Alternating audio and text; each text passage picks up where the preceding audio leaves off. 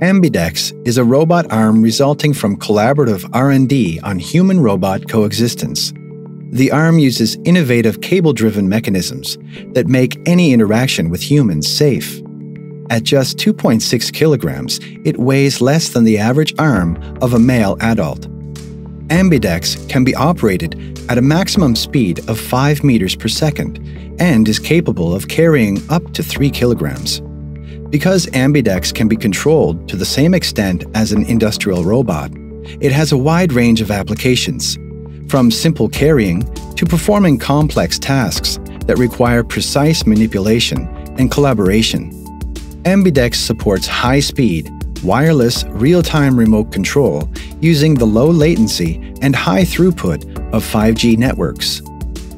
Ambidex a progressive robot arm that incorporates the unique characteristics and strengths of real human arms, holds the key to the integration of robot hardware technology in our daily lives under the mission of achieving ambient intelligence.